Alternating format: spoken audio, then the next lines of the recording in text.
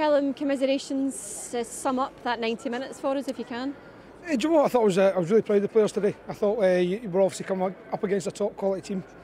Uh, I think you limit them to very few shots on goal. Uh, I thought we defended, we worked extremely hard. You know, I think we could probably done a little bit better with the ball. But you know what I will say is, I thought the players gave me everything today.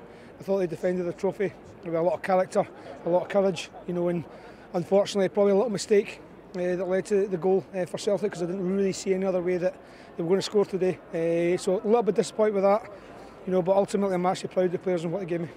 You seemed to contain them for, for quite a large part of that game. Did you feel at any point you're thinking, right, this is an opportunity, we could nick one here, and, and you never know yeah, where that I think when you, play, when you play against the, the, the, top two, I think you've, you've got to do that. You've got to sit and you've got to make sure you defend properly.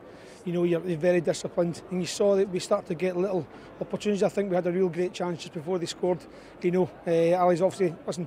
He's gone for goal, but we had Michael free in the right, so we, we were getting chances. Uh, but again, uh, that's it, that's football, you know, and it's tough to take for the players. Uh, I said to them in there, no, be really proud of yourself, you defend your trophy extremely well, you know, and uh, just go out here with your, your head held high. Yeah, on that, does there need to be, I suppose, a little bit of perspective of how good last season was? and you know, we got to the semi-final. It's it's a pretty mean feat in itself. Yeah, it just shows you how where, where the standards are and what they think. You know, we're extremely disappointed to, to get knocked out of the semi-final of the cup, and you know, we're playing against one of the top teams in the country. You know, with a huge backing you know, so it's, uh, yeah, it's a little bit of a reality check, but we want to win.